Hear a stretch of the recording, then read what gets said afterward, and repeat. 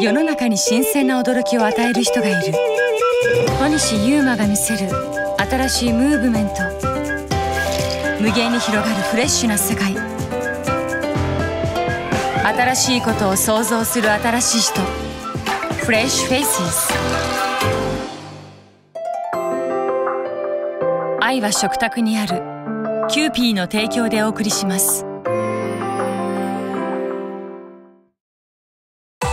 フレッシュフェイス in the case of ユーマ小西ドキュメンタリー作る人間としてはやっぱり生きるということを軽やかにできるようなものを作りたいですね。社会問題に興味のない若者にも届く。新しいドキュメンタリーのあり方を模索する小西。作品は10分程度の見やすい長さ。テーマは20代の自分の心が揺さぶられたもの SNS を活用し撮影中の裏話などもリアルタイムで発信する。僕が取材中にこんなに苦悩してたりとか悲しんでたりこんなに喜んでたりそういうものを見てるとやっぱり結局どういうものができたんだろうっていうふうに関心を持ってもらえるんじゃないかと思ってずっとやってますね。撮影過程の出来事も含めて一つの作品なのだ。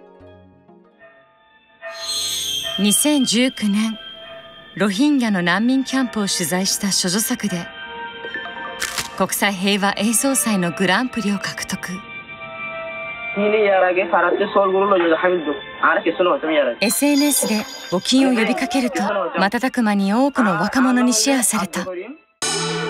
新しいこと変わらないセオリー。小西にはドキュメンタリー作家としてこうありたいというビジョンがある。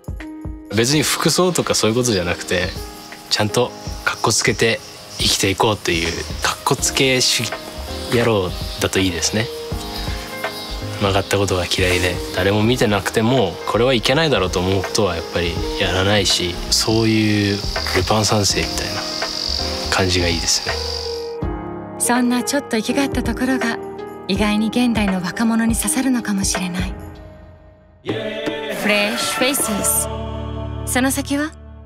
日本人の作家としてやっぱりできることが表現っていうものがあるだろうっていうことは最近考えてます。そういう思想的なものであったりとかアミニズム的なものそういう表現がなんかできないかなっていうのは考えてますね。でも結局は。